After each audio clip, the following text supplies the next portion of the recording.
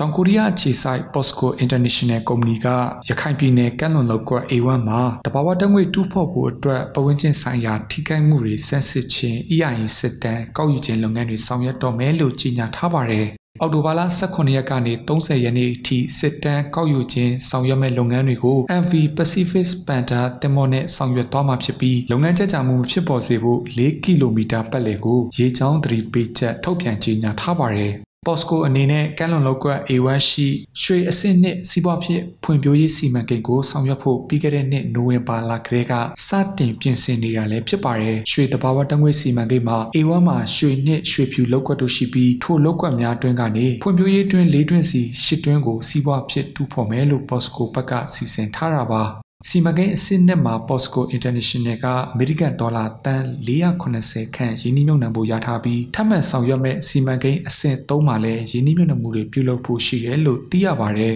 ရွှေစီမံကိန်းကို POSCO International က operator အဖြစ်လုပ်ကိုင်ခွင့်ရရှိထားပြီး share 51ရာခိုင်နှုန်းတောင်ကိုရီးယားကုမ္ပဏီ Cogas က18ရာခိုင်နှုန်းမြန်မာရေနံနဲ့တဘာဝတက်ငွေလုပ်ငန်း MOG က15ရာခိုင်နှုန်းအိန္ဒိယအခြေစိုက် ONGC နဲ့ GAIL တို့က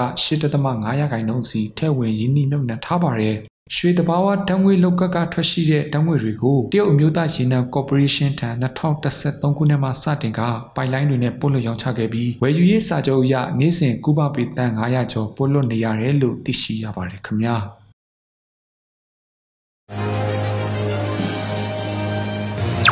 ။